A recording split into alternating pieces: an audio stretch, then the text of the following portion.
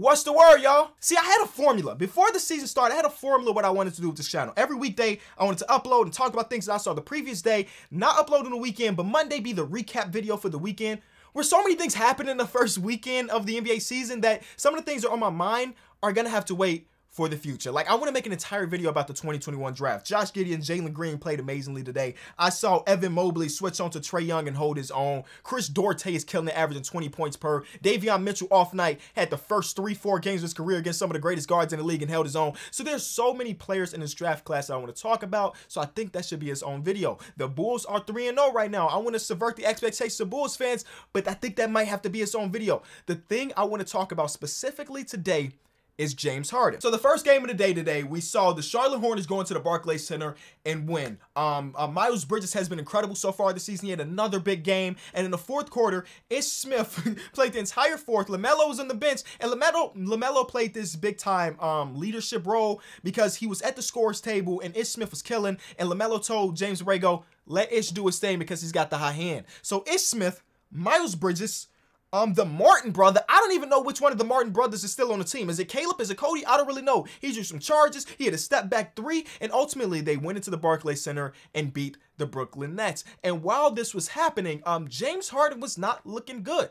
I mean, for the entirety of the season so far, James Harden's had his moments because he's still James Harden, but he hasn't looked like the James Harden they need, especially considering the Kyrie Irving situation, which we don't even want to talk about the stuff that happened uh, outside the Barclays Center today. But he has not looked like the, the secondary star that they need him to be, or even close to the star that we saw last year or the year before that, or the player that won an MVP award. So the stat line for James Harden today ended up being 15 points, seven, seven rebounds, eight assists, eight turnovers, and the big thing being the one for one from the free throw line. And that's got a lot of people talking. Three weeks ago, we dropped a video when I was going over what the NBA officials did to crack down on the foul baiting. Over the last couple years, Every NBA fan out there has had their own opinion about foul baiting, how it slows down the game, makes it harder to watch, and the NBA decided, no, we're not doing that this year. And in that video, I talked about players like Trae Young, Luka Doncic, James Harden, Jimmy Butler, Joel Embiid, some of the, the players that are known to do the foul baiting and who live and die at their free throw line and how they would adjust. And right now, so far, three games to the season, James Harden has not adjusted very well. Steve Nash said James Harden has unfairly become the poster child of some of these rule changes with non-basketball moves. He said he's still getting fouled, but feels the refs are hyper aware of them when Harden has the ball. Um, it's very weird for Steve Nash to say that considering the beginning of last year, he basically shut down Trae Young as his idol because he told Trae Young that you're not playing real basketball by doing the foul baiting. But now James Harden's on his team. Ah, you know what? We kind of want that foul baiting thing. And then James Harden also went on to his post game interview and, and, agreed with the sentiment that that Steve Nash has said here. Hey, Listen, I'm getting fouled on some of these plays and they're not calling it. A foul is still a foul. So what I decided to do now, I watched this entire game and I thought it was fairly officiated. Now, y'all know officiating is never 100% right, 100% wrong. I thought it was fairly officiated. And there's a YouTube channel out there that counts every possession that a player has the ball, whether it be a shot attempt, an assist, a turnover, a block, whatever.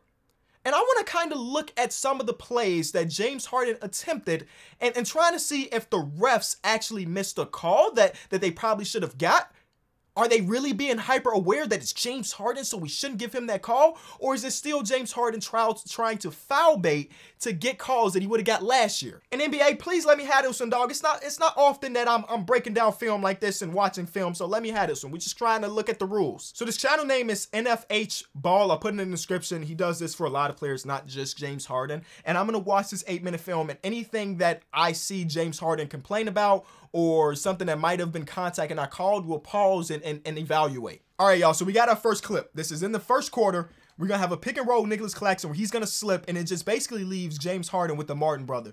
And when you slow this clip down, you determine if you believe that the referee should have called a foul or is it a good no call. Slow it down, slow it down, it looks like, in my opinion, it looks like one of the old moves James Harden did a lot over the last couple seasons. We're doing the hook move to make it seem like a foul. James Harden finishes this because he's still a dog. But in my opinion, that doesn't look like something that the refs should have called a foul. I'm going to say the refs are one for one right now. I'm going to show you this one in real time. Now he's got McDaniels on him. He's going to size McDaniels up. Boom, boom. That might have been a foul. And you see James Harden kind of complains. Now, the moment I think it might have been a foul is right here. You're gonna see McDaniels kind of like reach in, so it might have been on the on the floor foul. Like, hold on, right there, that right there. But then James, in the instant, went up because he felt the contact. So maybe that's what makes it a no call. And the commentators even say contact but no whistle. But what I think is, even if I think we just have the initial reach in contact, after that, I think McDaniels pulls off pretty easily. Like right there, there's not really contact with that, that left elbow. I just think he missed a shot. Now, this is where he did get his foul call. McDaniel swipes down on, on them going up, and that's the one free throw attempt he got. So here's another play where James Harden thinks he might have been fouled. You're going to see LaMelo Ball come over with the help. I believe this is clean.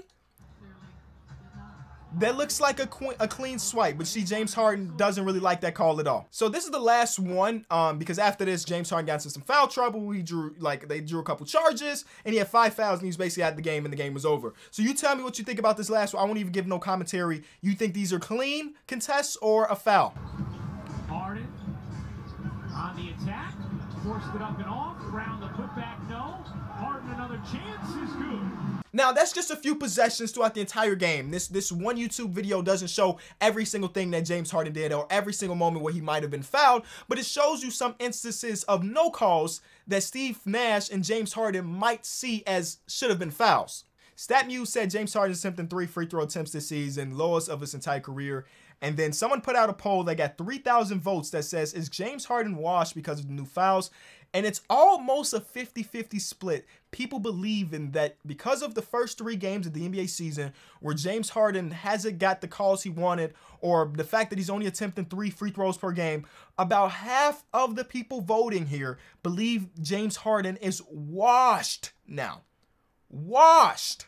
Um, do you miss foul baiting? Uh, twelve percent. Why? Who said yes to this? I don't really know, but twelve percent of people say yeah, and you know my answer. No, I I think these new rules are are fire. The games feel more fluid. I think that is crazy for people to look at the first three games in NBA season and see James Harden averaging 20 and on him only attempting three free throw attempts a game and say, ah, that's a wrap. Here's the downfall of James Harden's career. This moment right here when Adam Silver told the refs don't blow the whistle. Now James Harden's not going to be effective. I believe that y'all are completely, completely bugging. Yes, it might take him some time to get used to him not getting as many calls as before, but I cannot look at this man, James Harden, look at his resume, look at what he's done over just the past few seasons, even if you take away the fouls and be like, yeah, it might be it for him. I can't do it.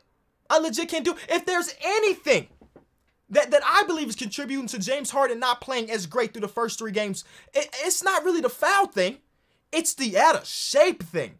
James Harden, being honest, looks a little bit bigger than what we normally see him play at. And because of that, there are plays in this game where James Harden will usually tap, tap, get past somebody, tap, tap, step back. Those things have been slightly slower. Miles Bridges completely picked this man pocket. James Harden is not a player that people are picking pockets of often, but that first step is not as swift and that first step is not as fast as it has been in previous years.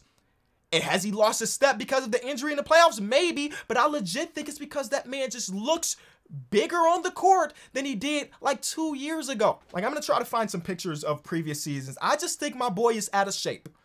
Um, and I remember going into last year, I think he had like that that vest on underneath his warm up, and that picture went viral of him looking kind of chunky. He was heavier than before, but he wasn't that crazy. But like, let me show you some pictures from this is 2019, 2020. James Harden, James Harden, right?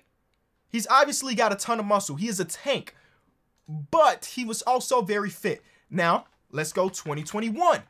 Let's let's look at now. Come on, dog. These are it's not the same. Oh, this is the picture that went viral. this is the picture that went viral. Um, and this picture also went viral. I think about it. That man James Harden has gone through a lot of body transformations in his career, man.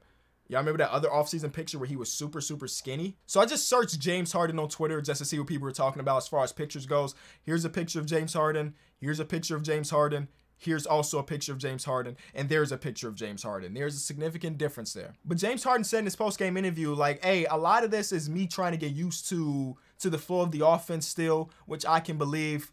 Um, he said he's been careless with the ball. I mean, eight turnovers. I can believe that as well. Yes, I do believe that the foul baiting thing is playing a role in things, but I think it's kind of crazy to think that this man might be washed because he's not getting calls. And and maybe maybe the refs are holding their whistles a little bit more on James Harden in the beginning of the season. Even if that's the case, I don't know if that's going to last for the entire season. You know, I think James Harden's got to do what James Harden does, and I, he mentioned this in his post game interview too. I just got to go out there and hoop, and everything's gonna play the way this gonna play. Truth. They could definitely still use Kyrie Irving. they could definitely still use Kyrie Irving. Um, in the in the meantime, but hey, we, we don't know what's happening with that. Anyway, I, I've kind of learned my lesson when it comes to these type of things. Um, whether it be with an individual player or a team the beginning of the season is not a place to super overreact. Like like it's fun for YouTube videos. It's fun to talk about these things, but it's definitely not a place for for you to believe that it's all over with. Like the Lakers starting off um 0-2 and almost 0-3. Shout out to Ja Morant. That boy Temetrius Jamel is on some next level. That's why he was my MIP pick before the season started. Don't you forget it.